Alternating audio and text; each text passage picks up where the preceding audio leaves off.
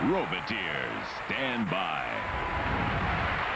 There's Team Logicon on the right for the Revolutionist and Team Innovation for Trackzilla on the left. And there's Team Creative Steel for the Gap.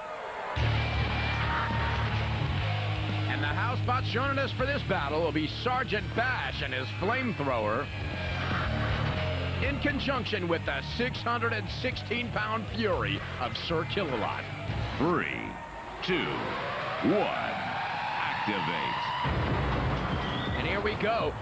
As the Revolutionist gets up to its 1,300 RPM speed, Trackzilla's got some real problems there as that Gap gets the lifting arm right underneath the Achilles heel of Trackzilla. Look at that. Great looking roll cage on the side of the Gap. I think he makes fences for a living.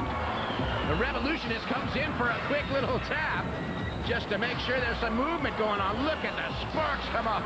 Boy, when the Revolutionist gets up to speed, there's no telling what'll happen. The Revolutionist doesn't look like he's spinning too much right now anymore. He's still got forward motion, courtesy of Killalot. But he's got the movement still. Look at the damage on the side of him. And I'll tell you what, Trackzilla's not looking too healthy out there.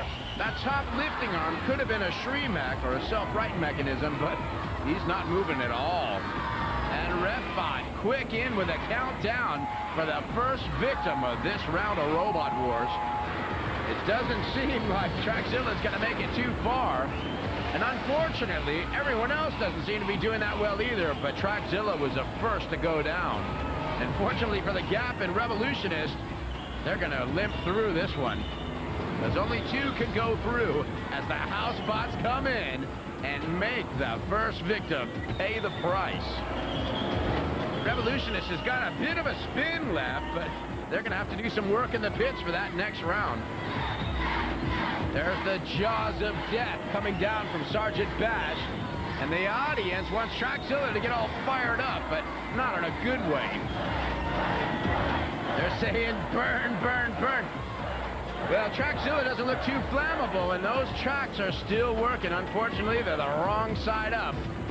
As Killalot backs into Trackzilla and lines them up perfectly for the flip, and a little bit of air time, and still, poor Trackzilla ends up on its back.